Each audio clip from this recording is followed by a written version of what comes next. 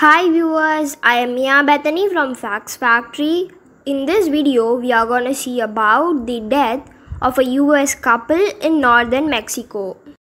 Authorities have identified bodies found in a well in northern Mexico as two missing tourists from the United States, officials said Monday.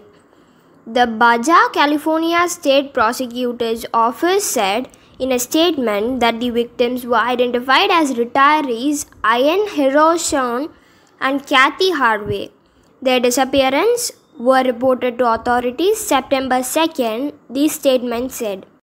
Investigators searching an unpopulated area south of Ensenada spotted human remains at the bottom of the well the following day.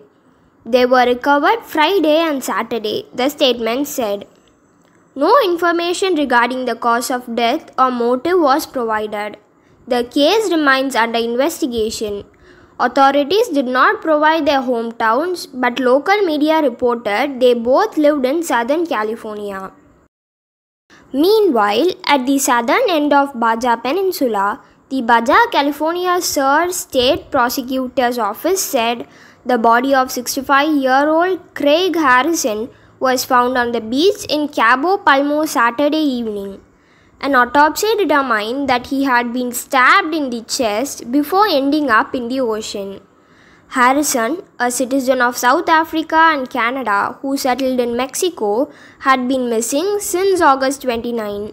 According to his real estate website, Harrison settled in Cabo San Lucas in 1997 after working as an accountant and a wine importer in Canada.